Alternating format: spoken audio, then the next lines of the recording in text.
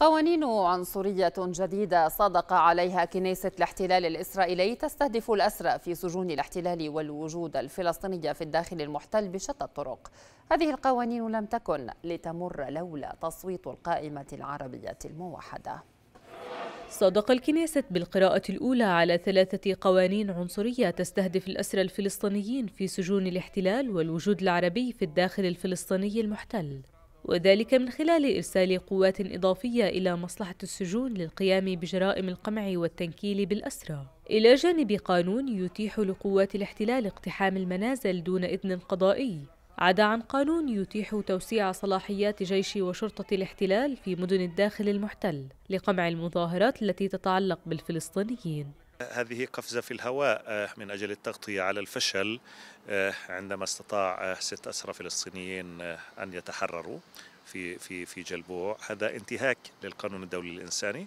نحن نخشى الآن على الأسرى الفلسطينيين في سجون ومعتقلات الاحتلال الإسرائيلي بأن يكون أن تكون الانتهاكات هذه المرة مشرعنة كما شرعنت محكمة العدل العليا الإسرائيلية التعذيب وبالتالي سيكون هناك تعذيبا ممنهجا مشرعنا لا يكون هناك محاكم ولن يكون هناك قضايا ولن يكون هناك قضاء عندما يتعرض الأسرى ل يعني صنوف التعذيب وللانتهاكات. هذه القوانين العنصرية والتي تبلورت بعد هبة الكرامة في أيار الماضي نصرة لمدينة القدس المحتلة وقطاع غزة. وبعد الهروب الأسطوري للأسرى الستة من سجن جلبوع أيلول الماضي.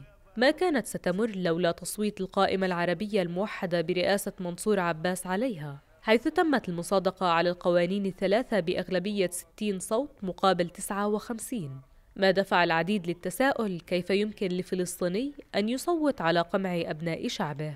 الحقيقة هذه ليست المرة الأولى التي تصوت فيها هذه القائمة لصالح يعني الاتجاهات اليمينية العنصرية هذه ربما يمكن المرة الخامسة أو السادسة. قبل ذلك صوتوا ضد قرار لم الشمل صوتوا آه، مع تهويد القدس.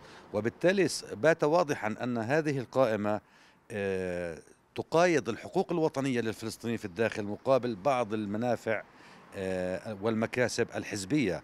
وهذا أمر خطير جدا أن تقيد الحقوق الوطنية لشعبنا ببعض المزايا المادية الزائلة. وقد وصلت القائمة العربية الموحدة بقراراتها ضد الفلسطينيين والداعمة للاستيطان والمستوطنين إلى حد يرى فيه المحللين إلى أنه لم يعد هناك فرق بين مواقف القائمة العربية الموحدة وبين بقية المركبات الصهيونية في حكومة نفتالي بنت من فلسطين المحتلة آية الخطيب. رؤيا.